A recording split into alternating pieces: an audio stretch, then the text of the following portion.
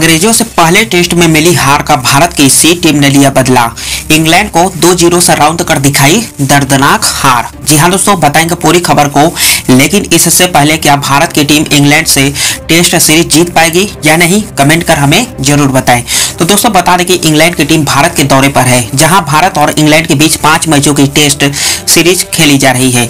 इस सीरीज़ का पहला मैच हैदराबाद में खेला गया, जिसमें टीम इंडिया को 26 रनों से हार का सामना करना पड़ा। जिसके बाद रोहित शर्मा एंड उनके जो है खिलाड़ियों की काफ़ी किरकिरी हुई। वहीं पर शुभमन गिल को भी एक अच्छा बैटर माना जा रहा था, लेकिन उन्होंने भी अपने प्रदर्शन से लोगों को काफ़ी निराश किया। लेकिन इसी बीच बड़ी खबर सामने आ रही है कि भारतीय विकलांग क्रिकेट टीम ने दूसरे टी मैच में इंग्लैंड की टीम को 35 रनों से जो है हरा दिया है। वहीं पर जो है, पहले मैच में जो है, भारत ने पहले बल्लेबाजी की और निर्धारित 20 ओवरों में एक सौ छियालीस रन बनाए, नौ विकेट के नुकसान पर।